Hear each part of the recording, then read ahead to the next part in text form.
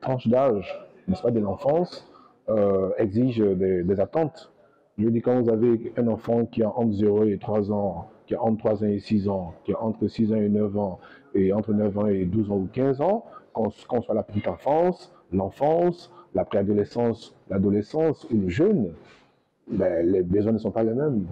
Autant à l'enfance, la petite fille, sera très heureuse de recevoir une poupée en cadeau, autant le petit garçon sera très heureux de recevoir une voiture euh, hein, qui puisse bouger, hein, rouler, pour faire simple.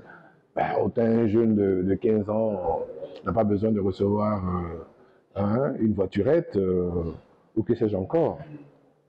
Qu'ils reçoivent un livre, n'est-ce pas, de culture générale, qu'ils reçoivent euh, un présent dont tu peux avoir besoin, peut-être, je sais pas, peut-être un, téléphone, parce qu'il y a un besoin pour lui.